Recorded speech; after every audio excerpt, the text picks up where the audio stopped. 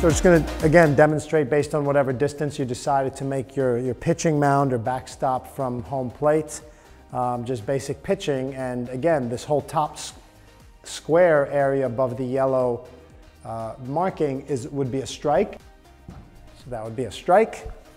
And obviously if I miss the mat or pitch the ball below the yellow line, that would be a ball. That low pitch would be a ball.